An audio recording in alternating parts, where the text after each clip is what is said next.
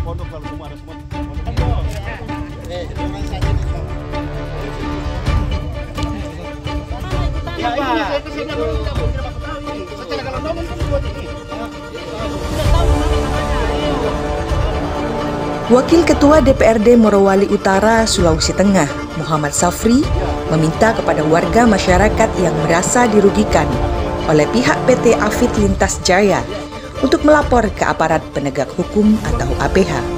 Hal itu disampaikan Muhammad Safri saat melakukan kunjungan lapangan ke lahan PT ALJ bersama sejumlah anggota DPRD Morowali Utara lainnya di Kelurahan Bahontula, Kecamatan Petasia, Senin 25 September 2023. Selain mendorong warga masyarakat yang merasa dirugikan oleh klaim PT ALJ terkait kepemilikan lahan untuk melapor ke pihak yang berwajib, Safri juga mempersilahkan kepada pihak perusahaan untuk berkoordinasi dengan aparat penegak hukum atau APH guna menyelesaikan persoalan itu.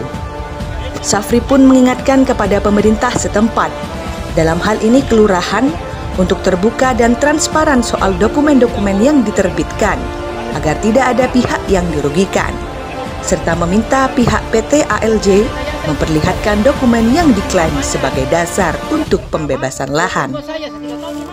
Safri juga menegaskan, dirinya tidak ingin peristiwa-peristiwa yang berujung konflik akibat sengketa lahan yang terjadi di daerah lain juga terjadi di Morowali Utara, sehingga perlu diantisipasi secepatnya. Untuk menghindari hal-hal yang tidak diinginkan, Safri yang juga Ketua DPC PKB Morowali Utara meminta manajemen PT ALJ untuk sementara menghentikan operasionalnya. Sebab mengacu pada kasus-kasus sebelumnya, aktivitas pertambangan yang berada di areal permukiman warga sangat riskan dan membahayakan keselamatan penduduk setempat.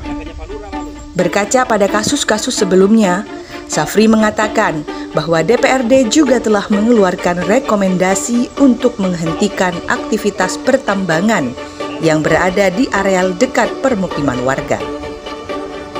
Dari Kabupaten Morowali Utara, Sulawesi Tengah, Bams Ari Expos Update, laporkan.